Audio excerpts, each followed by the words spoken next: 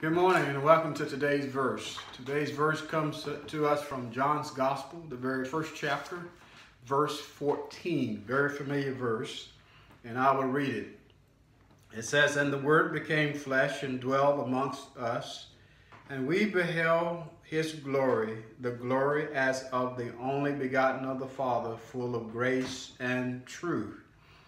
This verse speaks to the incarnation of Christ, where God became man, fully man, and yet fully God. Someone would say that this uh, verse here uh, is the Christmas story, the Christmas story without the manger scene and uh, without Mary and Joseph, without the angels, without the shepherds and the wise men and all of that, because this verse, it tells us that our deity and humanity was joined uh, together.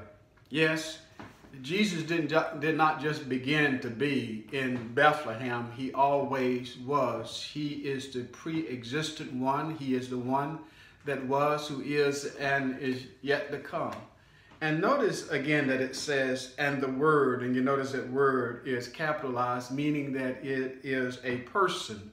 It is not a thing, but a person. And how do we, how did John makes this clear? Then go back to verse 1 here in uh, John's gospel. He says that in the beginning was the Word, and the Word was with God, and the Word was God. He was in the beginning with God, and all things were made through him, and without him nothing that was made was made. For in him was life, and this life is the light of man. And then it said that there was a man sent by God, whose name was John. John was not the light, but he was rather sent to bear witness of the light. That is the true light that has come into the world to give light to all men. And he was in the world, and yet the world did not receive him.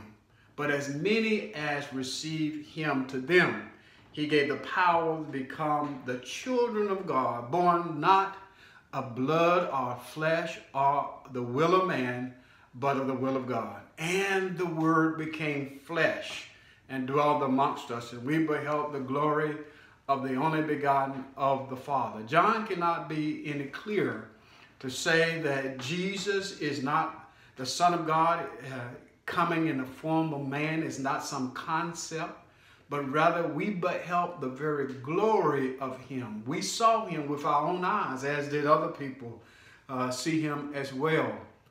We saw him and he was full of grace and full of, full of uh, truth. He is the very embodiment of truth, the very embodiment of grace. He is the very embodiment of what perfect love and joy and peace and long suffering and gentleness and goodness and faithfulness and meekness and self control. He is the very embodiment of God Himself. And guess what? They were able to see Him, they was able to behold Him. Can you imagine? that you are in the presence of God Himself manifest in the form of man. And He was the perfect man, the God man, the one that was in this world, the one that knew no sin. And yet, He took our sins upon Himself to pay our sin debt once and for all.